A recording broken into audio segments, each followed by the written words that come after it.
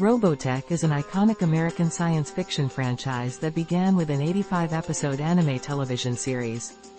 The series was a pioneering force in Western anime distribution, produced by Harmony Gold USA in partnership with Others Zero. It made a significant impact upon its debut and has maintained a dedicated fanbase throughout the years. Yes, you're correct. Robotech is indeed a significant series in the history of anime distribution in the West. It was produced by Harmony Gold USA in association with Tatsunoko Production, a Japanese animation studio. The series is unique as it was adapted from three different anime series, the Super Dimension Fortress Macross, Super Dimension Cavalry Southern Cross, and Genesis Climber MOSPEADA.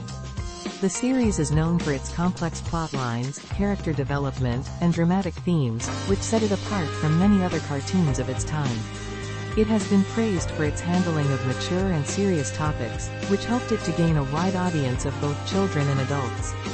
With all 85 episodes now streaming on Funimation, it's a great opportunity for both old fans to revisit this classic and for new fans to discover the series for the first time. Whether you're a fan of science fiction, mecha anime, or just good storytelling, Robotech is definitely worth checking out.